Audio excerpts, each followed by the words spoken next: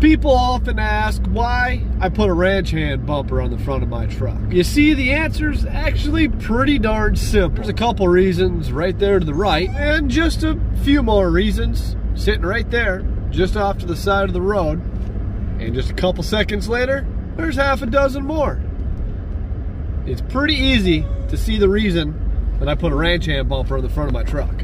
Just this short one minute drive showed exactly why there's a ranch hand bumper on the front of my truck. Right there, bunch more, real easy. And yet, even more, here we go, right in front. I'll have to be the head cashier at Walmart to figure out exactly why I got a ranch hand on the front. I just wish that uh, ranch hand itself would stop playing games and, uh, and, and finish helping me out with the issues that I help them out with. But you get the picture.